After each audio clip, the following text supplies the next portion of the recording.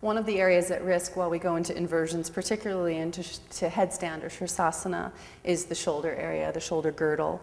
So a key, I'm going to probably discuss a little bit more of it before I go in. It'll be a little bit harder for me to be uh, talking in it while I'm in it. So the key will be to press through the forearms equally as you lift up out of the shoulder girdle away from the floor.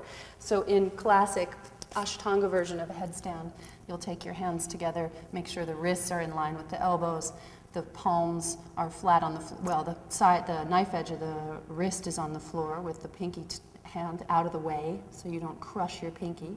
Your thumbs up, then you tuck your head in there, walk your feet in towards your elbows, and then if you can, you're piking up with both feet together.